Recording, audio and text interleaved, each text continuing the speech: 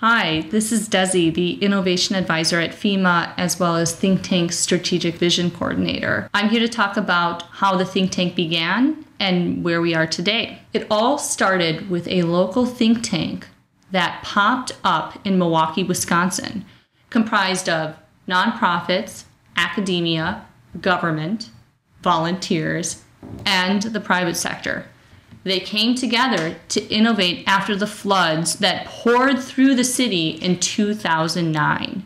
This whole of community think tank came together to generate ideas on how to make their community more resilient to future disasters, build the ideas into projects, implement their work, and most importantly, celebrate the success.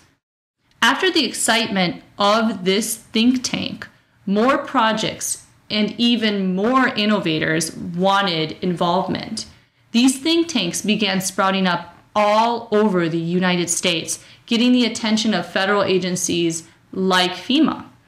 Deputy Administrator Serino, affectionately called Rich, decided to create the FEMA Think Tank, a national initiative that brings whole community stakeholders to the table to have a transparent dialogue. Due to the launch and kickoff of the think tank in November of 2011 at the International Association of Emergency Managers, nine think tanks have been held, including at the White House on February 6, 2013. Hosting the think tank at the White House all began on a fall day in DC while eating crepes. Rich, Deputy Administrator of FEMA, Lenny Marcus, Harvard professor at the National Preparedness Leadership Institute, and myself, the FEMA Innovation Advisor and Think Tank Strategic Vision Coordinator, began to discuss taking a time centric approach to the think tank and deploying an innovation team in disaster response and recovery. On November 2nd,